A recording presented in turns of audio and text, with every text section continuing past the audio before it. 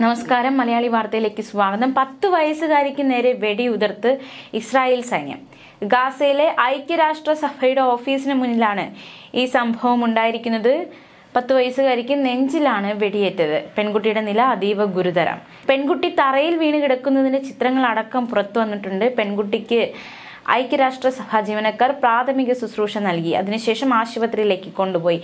തെക്കൻ ഗാസയിലെ ഒരു ഇസ്രായേലി ചെക്ക് പോസ്റ്റിലൂടെ പോകുമ്പോഴായിരുന്നു പെൺകുട്ടിക്ക് വെടിയേറ്റത്. മാത്രമല്ല മറ്റൊരു സംഭവം ഉണ്ടായിട്ടുണ്ട്. അതായത് രണ്ട് ദിവസം മുമ്പ് നാല് ഐക്യരാഷ്ട്രസഭ ജീവനക്കാർ ഇസ്രായേൽ സേനയുടെ ആക്രമണത്തിൽ കൊല്ലപ്പെടുന്ന സാഹചര്യമുണ്ടായി. യു എൻ ആണ് ഈ വിവരം പുറത്തുവിട്ടത്. മൂന്ന് പേർ പാചക ജോലി ചെയ്യുന്നവരും ഒരാൾ സേവ് ദി ചിൽഡ്രൻ എന്ന സ്ഥാപനത്തിലെ ജീവനക്കാരനുമായിരുന്നു.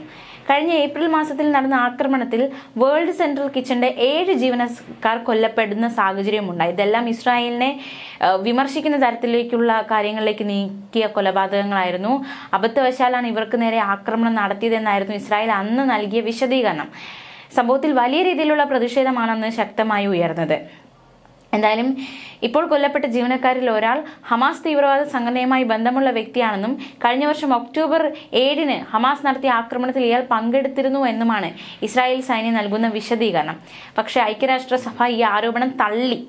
ഹമാസ് പ്രവർത്തകൻ എങ്ങനെയാണ് ഐക്യരാഷ്ട്രസഭയുടെ കീഴിലുള്ള ഒരു സ്ഥാപനത്തിൽ ജോലി ചെയ്തത് എന്ന് ഇസ്രായേൽ വിശദീകരിക്കണമെന്നാണ് യു എൻ പറയുന്നത്.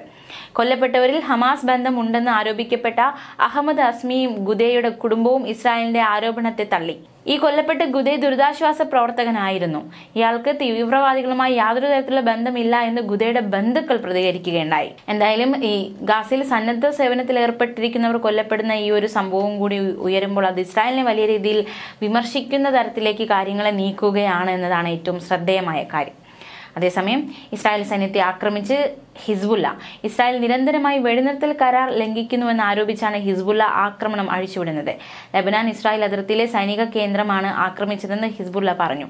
വെടിനിർത്തൽ കരാർ ലംഘിച്ച് ഇസ്രായേൽ യുദ്ധവിമാനങ്ങൾ ബെയ്റൂട്ടിന് സമീപം വരെ എത്തിയെന്ന് ഹിസ്ബുല്ല ആരോപിച്ചു. വെടിനിർത്തലിന് ശേഷം ഇസ്രായേലി സൈന്യം തെക്കൻ ലബനാനിൽ നടത്തിയ ആക്രമണത്തിൽ ഏതാനും ലബനാൻ പൗരന്മാർക്ക് പരിക്കേൽക്കുന്ന സാഹചര്യമുണ്ടായി. ഇതേ തുടർന്ന് സൈനിക കേന്ദ്രം ആക്രമിക്കുക എന്ന നീക്കത്തിലേക്ക് കടന്നത്. വെടിനിർത്തൽ കരാർ ലംഘനം അവസാനിപ്പിക്കാൻ ഇസ്രായേലിനോട് യു എസ് ആവശ്യപ്പെട്ടു എന്നാണ് വിവരം. ഇസ്രായേൽ നിരവധി തവണ കരാർ ലംഘിച്ചതായി കരാറിന് മധ്യസ്ഥത വഹിച്ച ഫ്രാൻസിന്റെ വിദേശകാര്യമന്ത്രി ജീൻ നോയൽ ബാരറ്റ് പറഞ്ഞു. നവംബർ ഇരുപത്തിയേഴിനായിരുന്നു ലബനാനും ഇസ്രായേലും വെടിനിർത്തൽ കരാറിൽ ഒപ്പുവെച്ചത്. ന്യൂസ് ഡെസ്ക് മലയാളി വാർത്ത.